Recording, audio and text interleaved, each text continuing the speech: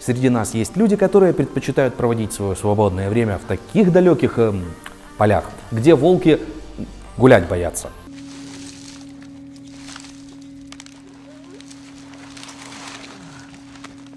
Для таких людей есть отдельная категория смартфонов – защищенники.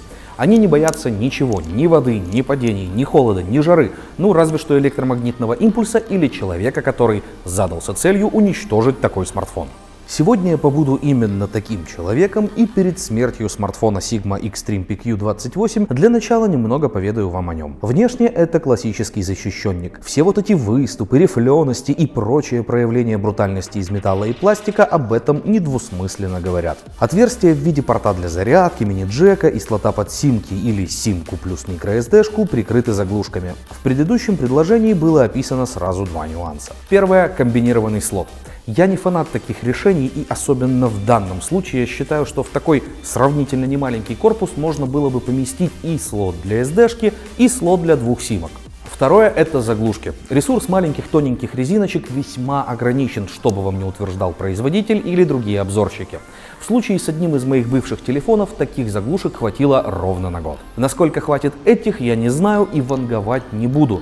Но микро-USB можно было бы сделать и без заглушки. У Sony-то это получилось еще лет и лет назад. Однако стоит отдать должное производителю. Огромная часть подобных смартов имеет одну и ту же болячку. Упаси боже вас потерять штатный провод для зарядки. Вы станете обречены на поиск шнура с удлиненным штекером, ведь подходит далеко не каждый. Сюда же подходит любой, и это вот прям огонь. Что еще очень понравилось, толщина. Смарт примерно настолько же пухлый, насколько iPhone в каком-нибудь страшно защитном чехле. И благодаря этому пропадает ощущение кирпича, стилизованного под трактор. Да, у меня с защищенниками вот такой странный ассоциативный ряд, понимаете, как хотите. Внешне смарт вполне норм и нет присущей всем девайсам этой категории гипертрофированности. Едем дальше. Дисплей 5-дюймовый, IPS с HD разрешением. Вполне симпатичный экранчик с нормальным запасом яркости и хорошими углами обзора, да еще и прикрытый Gorilla Glass 3, Читабельно, смотрибельно, играбельно. Внутри тут ничего сверхъестественного. Минимально оптимальная конфигурация для решения базовых задач. Mediatek MTK 6737T, 4 ядра, 1,5 ГГц, 2 ГБ оперативки и 16 ГБ встроенной графоний от Mali T720. Нетребовательные игрушки работают вполне сносно, в работе с системой проблем я тоже не заметил. Сверхъестественное начинается на уровне софта, который вроде как заявлен стоковым седьмым андроидом. Первое — Miravision. За этим названием экраном прячется возможность настраивать экран по-взрослому, не просто двумя пресетами, а и вручную. Контраст,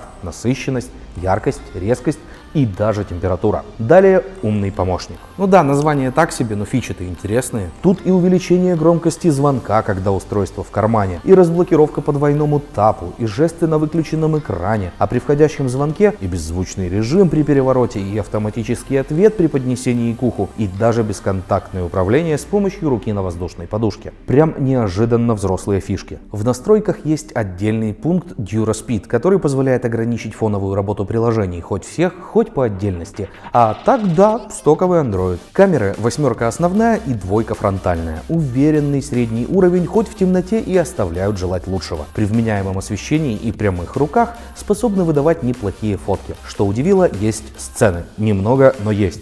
Есть фильтры. Они так себе, но они тоже есть. Есть и обнаружение лиц. Есть серийная съемка на 99. 99 кадров.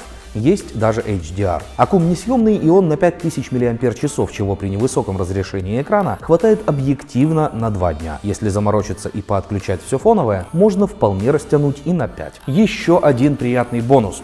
Совсем скоро прогресс в виде LTE, хоть и с огромным запозданием, но все же дошагает до наших широт. И когда этот момент наступит, владельцы этого смартфона будут готовы к сетям нового поколения, LTE поддерживается. То есть за 5500 условных украинских единиц вы получаете вполне современный смарт-середнячок с некоторыми очень взрослыми фишками. При этом бесстрашный смарт-середнячок.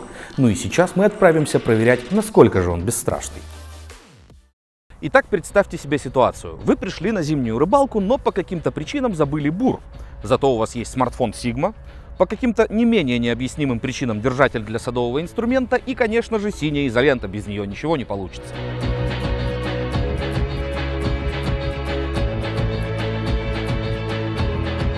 Ну что ж, девайс готов, приступим. А сюда еще попозже добавим какую-нибудь подходящую пафосную музычку.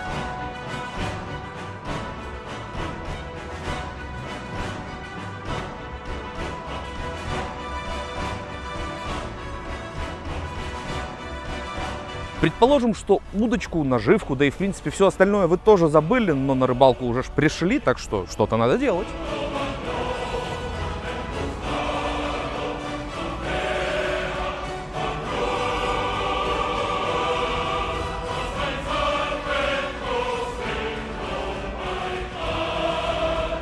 Что-то мне подсказывает, что здесь клева нет, потому что слишком мелко. Давайте попробуем зайти поглубже и сделать новую лунку.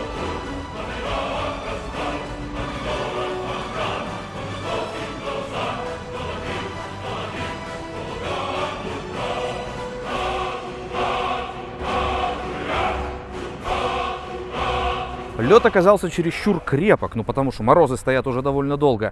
Смарт почти не пострадал. По итогам у нас отлетевшая заглушка от симки и microSD-шки, вылетевший и погнутый оттуда же лоток и декоративный элемент от вспышки.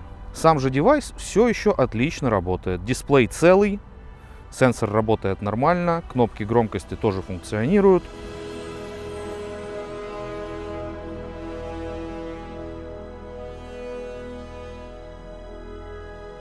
В итоге Sigma оказалась гораздо более живучей, чем я ожидал. И на этой позитивной ноте я напоминаю вам о том, что стоит поставить лайк под этим видео, подписаться на наш канал и до скорых встреч. Ну а с Сигмой мы прощаемся.